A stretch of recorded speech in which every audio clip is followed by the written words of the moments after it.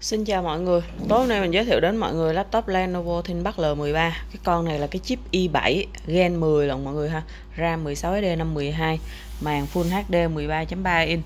À, Mẫu máy sản xuất 2021 Nói chung là cái cấu hình thì quá mê Giá thì quá ok luôn. À, cái vỏ ở ngoài là vỏ này là vỏ nhôm nha mọi người mát lạnh luôn. Mướt rượt ở trên vỏ nhôm á, thì cái chỗ này mình cũng không biết là tại sao mà nó có ra cái màu này nữa. Có thể là đôi lúc oxy hóa hay nha hay là như thế nào đó mình không biết. Nhưng mà trên vỏ nhôm nó có một cái này giống như lấy cái bút lông nó kẻ qua đó mọi người kiểu vậy đó. Ờ, cái màu này mình chùi không có ra ha. Nó như vậy nó mịn nó mát lạnh luôn á. Đây mình sẽ quay kỹ cho mọi người xem thử trên cái nhôm này có xước trầy gì không.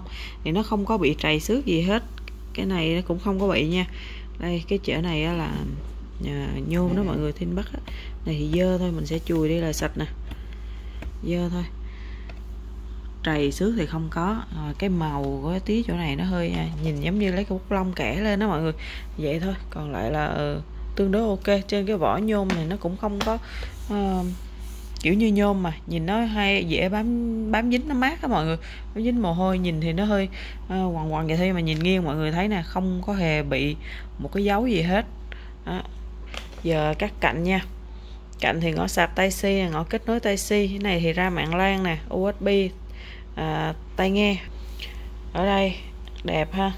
Trên này cũng đẹp HDMI USB thẻ nhớ nút nguồn cạnh góc rồi là không có bị cấn không bị gì nha mọi người. Như vậy là cái vỏ là mình thấy là tương đối đẹp á. Có chút xíu chỗ này nó hơi đổi màu tí mình không biết chùi kiểu sao thôi.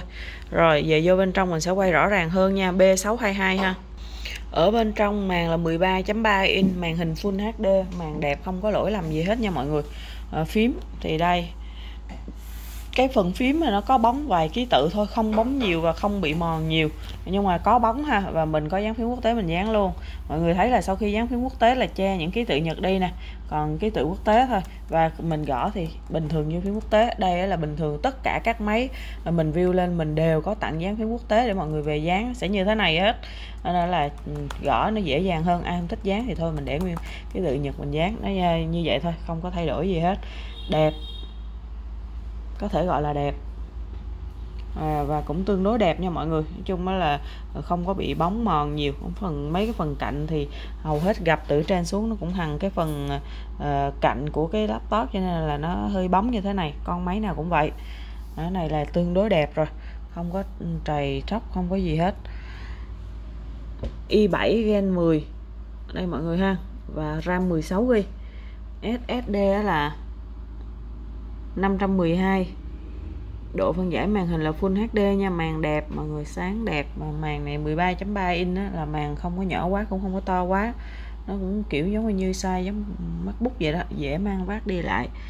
Series máy là máy sản xuất 2021 mọi chức năng là hoạt động hoàn hảo hết trơn pin trên 3 giờ sạc thì kèm sạc tay xe dinh mọi người thấy là cơ bản là cũng đẹp ha từ trong ra ngoài.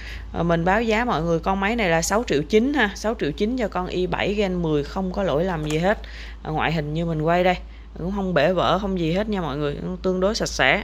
B622 6 triệu 9 ai chốt thì inbox mình mua hàng cọc 1 triệu còn lại mình ship code. Mọi người nhận hàng này kiểm tra hàng thanh toán số còn lại cho bên vận chuyển nha. Còn uh, máy thì luôn bao dinh à, bao cho mọi người là có má, mở máy để kiểm tra có zin hay không luôn nên mọi người yên tâm về chất lượng. Máy á, là mình đó là khi mà nhập máy thì là nhập hàng công ty hàng zin ngon ok hết trơn rồi mình mới nhập à, đi về đây. À, về rồi mình còn kiểm tra lại nữa cho nên mọi người về mọi người muốn kiểm tra máy thì mở máy kiểm tra. Rồi bung tem của mình thì mọi người gọi điện video cho mình là được. Cảm ơn mọi người nhiều ha cảm ơn mọi người đã xem kênh đăng ký kênh của mình nha.